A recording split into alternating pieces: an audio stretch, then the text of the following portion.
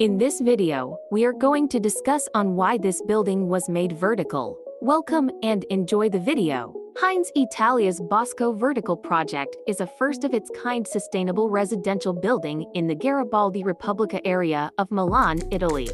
Bosco Vertical was aimed at creating a biological habitat and increasing biodiversity. It created an urban ecosystem linking urban life and nature. The project serves as a means for the survival of European cities such as Milan, which are facing the problem of increasing pollution.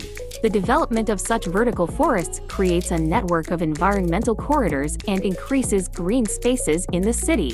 Bio Milano comprises six ideas aimed at increasing the number of green spaces in Milan.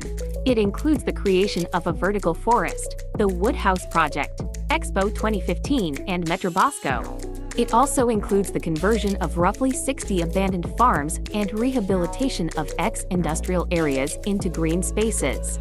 The two residential towers of the project are 110 meters and 80 meters in height.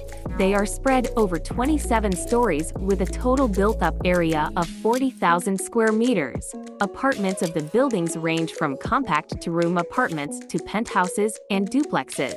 The balconies of the buildings are 28 cm thick and extend outwards for 3.35 meters in an irregular manner. They are made of reinforced concrete and house 900 trees, 5,000 shrubs, and 11,000 floral plants. The heights of the plants range from 3 meters to 9 meters.